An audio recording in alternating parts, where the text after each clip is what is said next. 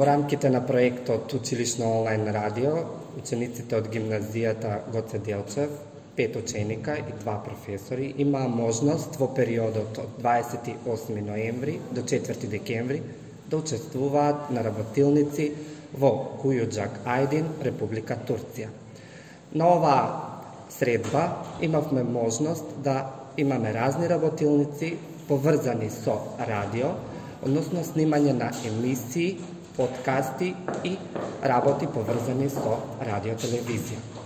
Нашите ученици подготвија интересни едукативни материјали кои што ги презентираа на самата а, средба, но а, има и можност да другаруваат со нивни врсници, да посетат културно-историски области и да другаруваат на истите места.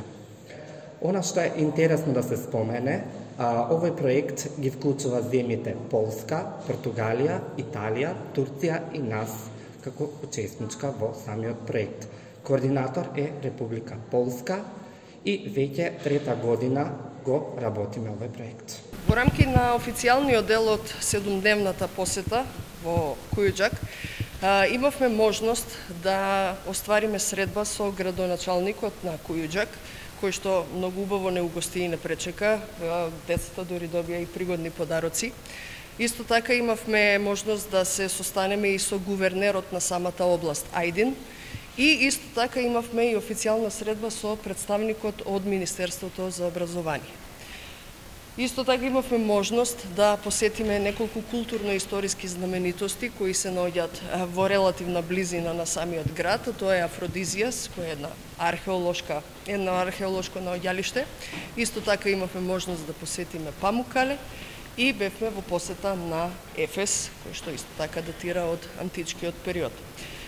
Во рамки на самите работилници, децата има можност да прикажат што сработиле и како ја обработиле темата на оваа мобилност и може да се каже дека дојдовме до една до еден интересен заклучок дека а, секоја држава за себе си има нормално своји проблеми со загадување и начин на кој што се справува со истиот.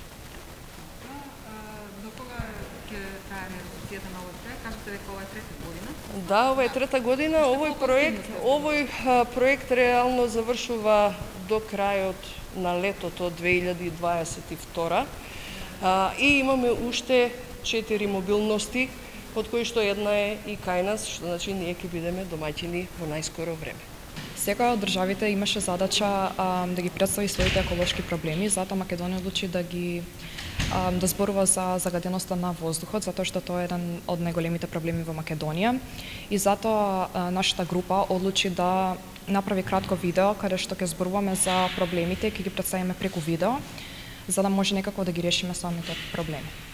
Um, како што рече мојата соученичка, поентата беше да се направи нешто многу кратко, но впечатливо, што ќе крене совеста не само на државите што учествуваа во проектот, туку и на uh, граѓаните во Македонија.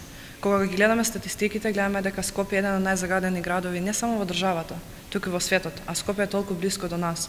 Ние треба да направиме нешто, да ја користиме информација и да направиме нешто со што ќе можеме да го средиме овој проблем не само за нас, за нашата генерација, за постарите, туку и за идните што доаѓаат. На овој проект добивме може да се запознаеме со врсници од држави како што се Турција, која беа доматините, Полска и Португалија, Исто така да, намерата на овој проект беше да се запозна да ги запознаме проблемите кои се кои се кои ги има во во наведените земји, некои се слични како кои се слични како нашите, исто така преку видови на дебати, преку дискусии да дознаем да дознаеме можни решенија за истите проблеми. Како дел од активностите предвидени според агентата, ние имавме прилика да посетиме и на одјалишта, културно-историски наоѓалишта кои се во близина на градот Домаќин, па така имавме прилика да го посетиме античкиот град Афродизијас, кој го добил по името по е, грчката божица по, на убавина Афродита. Понатаму го посетивме Памукале, кој со своите топли извори и нереално бели базени